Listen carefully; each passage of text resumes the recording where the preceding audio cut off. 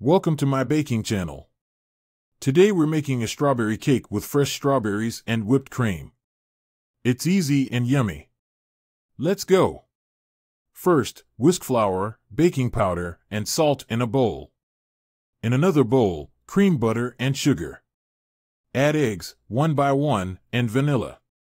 Then fold in flour and milk alternately. Pour batter into a greased pan and bake at 350 degrees for 25 to 30 minutes. Cool the cake before frosting. And that's it. You have a moist and fluffy strawberry cake that everyone will love. Enjoy!